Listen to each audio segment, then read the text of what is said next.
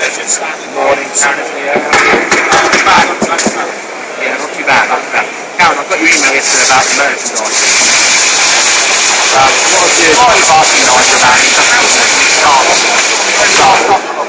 Am I going to send this to his quarter of them? Would that be too greedy, would it?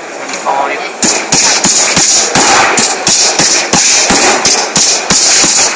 I don't mean the whole lot. The whole lot. Um, it's a